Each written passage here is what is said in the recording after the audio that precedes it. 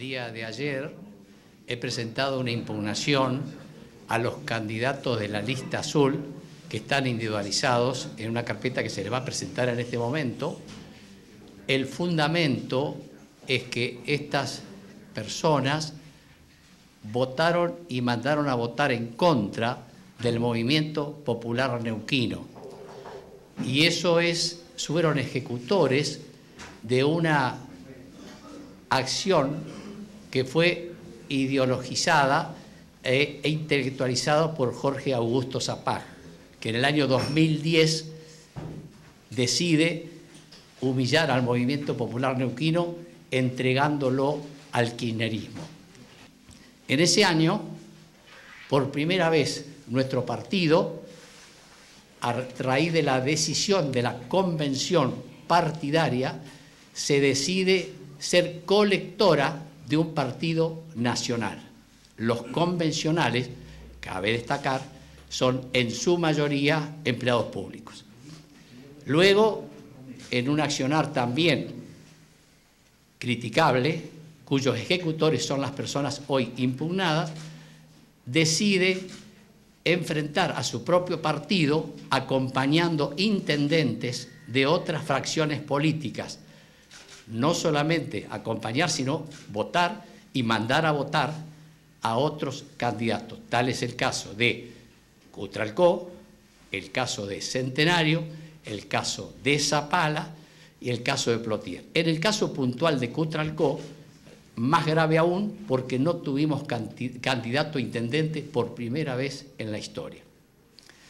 Luego, y más recientemente, en las últimas elecciones para diputado nacional y senador nacional ordena y ejecuta los ministros, secretarios y diputados que están señalados en la impugnación y que hoy pretenden ser candidatos para que trabajen activamente en un primer momento a favor de la Unión Popular. Y luego, 48 horas después de una orden estricta que recibió de la Presidenta de la República, le ordena Zapac a sus ministros y la vicegobernadora a sus funcionarios para que trabajen activamente a favor de del Frente para la Victoria. Esa conducta incalificable, desleal e infiel está tipificada en la Carta Orgánica artículo 5. Nuestra Carta Orgánica artículo 5 expresa que los afiliados que integren otra lista que no sean autorizados por la Convención son expulsados automáticamente ergo se extingue la afiliación. En realidad eh, estamos en un proceso electoral para renovación de autoridades partidarias en el MPN. Y parte de, las cuestiones a renovar precisamente tienen que ver con, las lealtades y los sentidos de pertenencia claros hacia nuestro partido.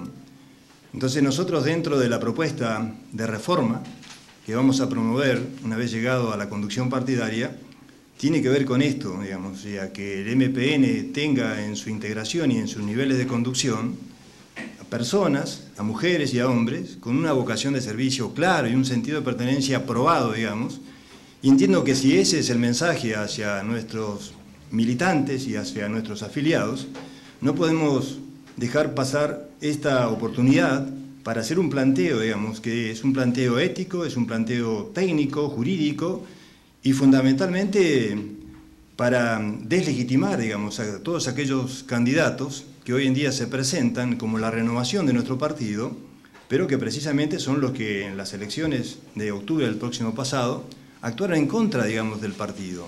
Queremos ser claros, queremos ser precisos, de que no vamos a aceptar ningún tipo de conducta desde la lealtad partidaria.